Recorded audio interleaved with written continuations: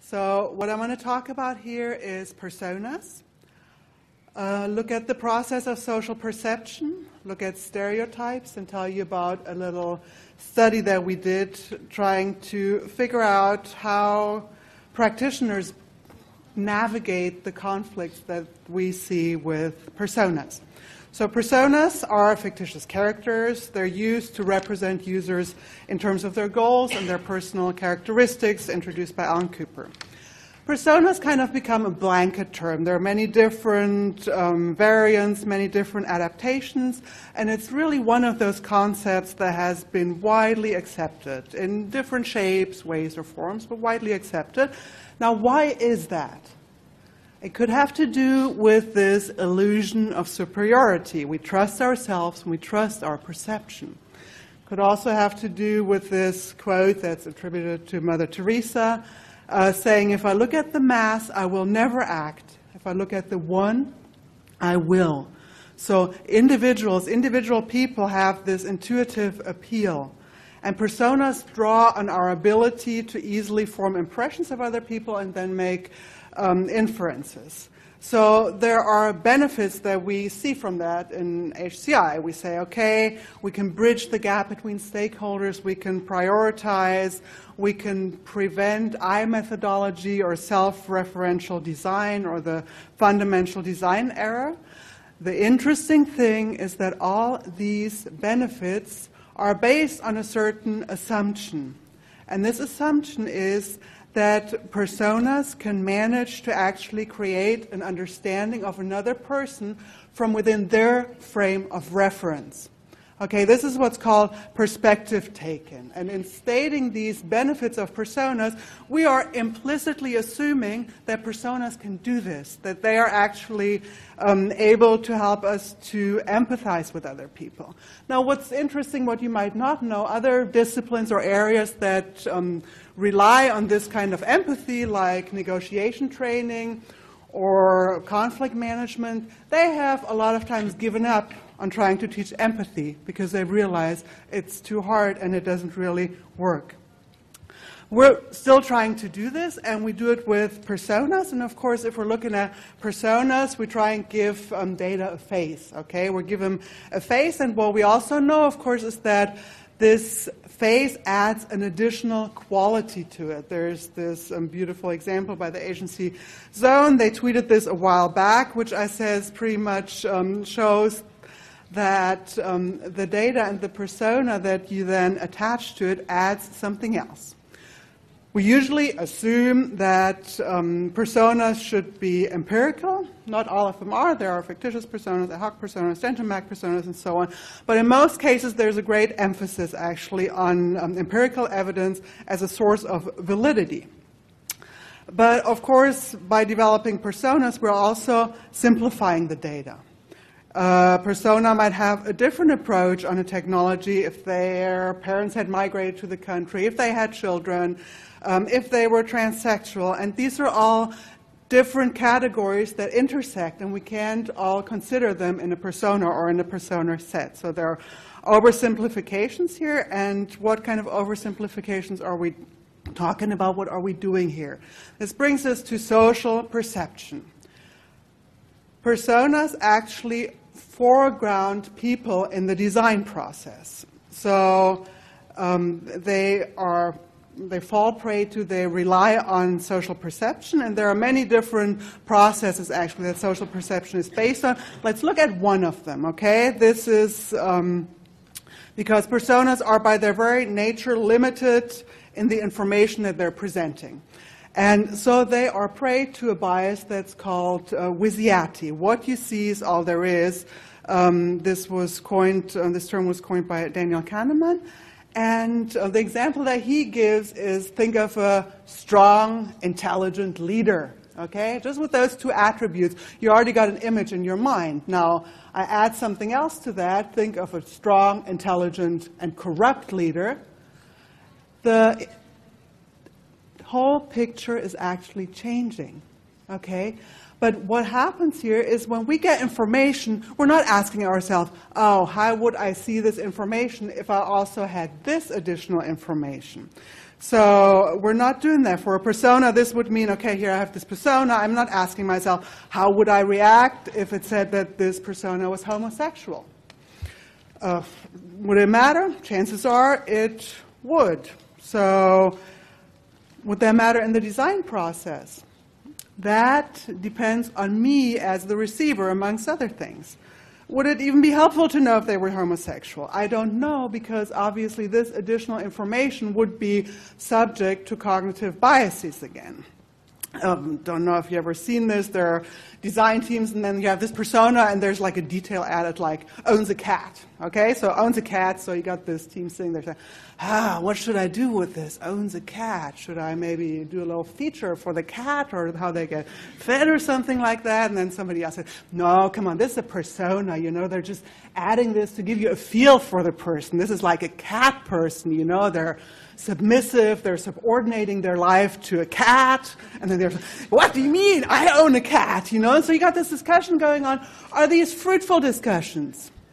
Maybe the way I'm asking this question, you think it's a rhetorical question. I expect you to say no, but actually I'm not sure because if we're bringing personas, if we're bringing people into the design process, then we have to deal with this process of um, impression formation professionally. And that means dealing with my defaults, dealing with my assumptions and my biases and everything.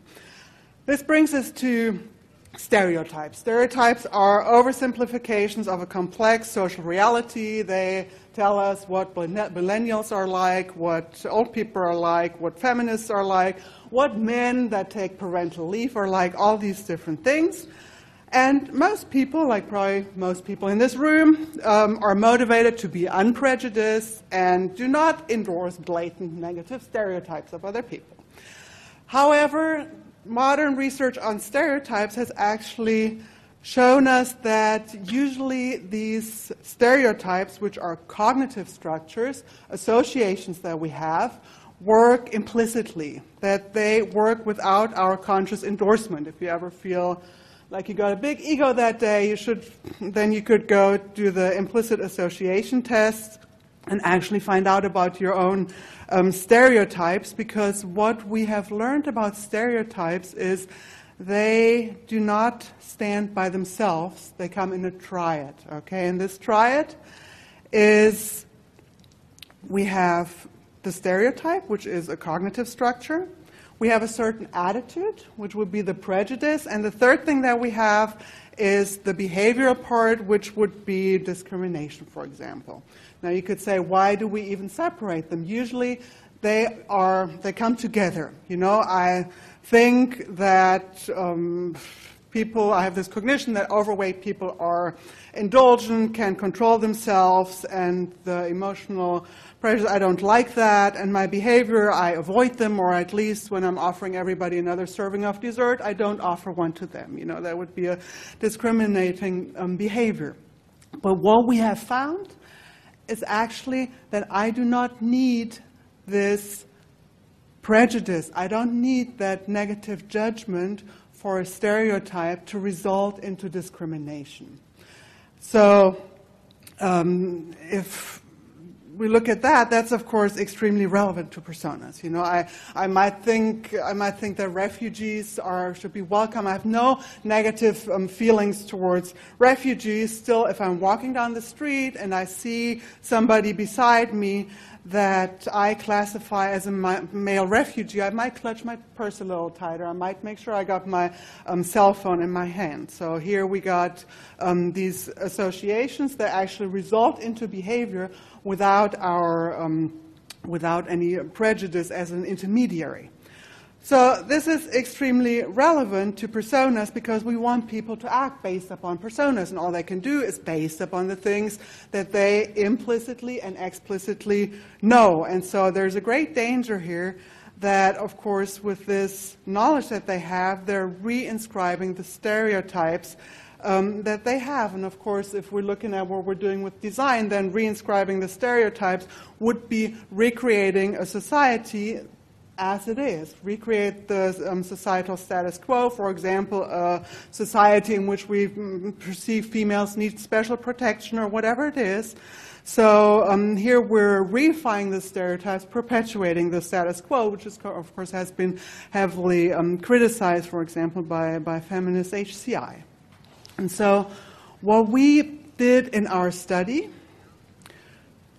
and I hope with this very, very brief look into social perception, into personas, it has become clear that personas do have some issues. Okay, and if we're um, working with them, there are certain things, or there are certain things that practitioners then would have to navigate, that they would have to um, deal with.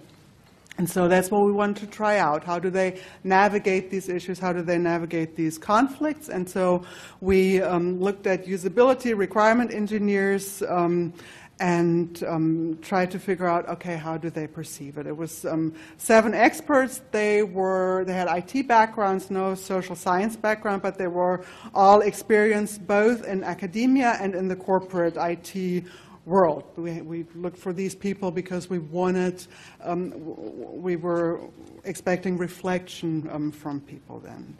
We did a qualitative um, analysis and um, all the all the practitioners that we interviewed actually said, okay, um, they they have a user-centered way of um, approaching this.